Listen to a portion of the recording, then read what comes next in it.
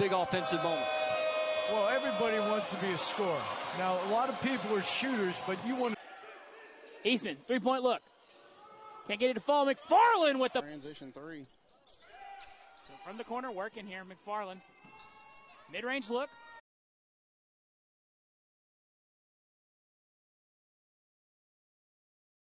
Johnson. And he throws it away. Picked off by McFarlane, who gets it back from Woodard late.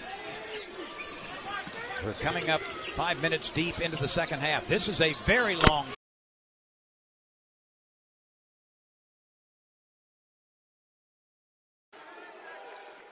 Finds Caldwell. Nick Caldwell finds a cutting Roger. Was worried about today. So quick with the basketball. And uh, David Kiefer said he's not our best player. He's our most player. Left side, Burton. Around the right. Three is away. In the bucket. Woodard from the corner. Won't go, but McFarlane. Strong rebound. Capriati. That's not there. HCU now 4 to 13 from how how good the SEC has been.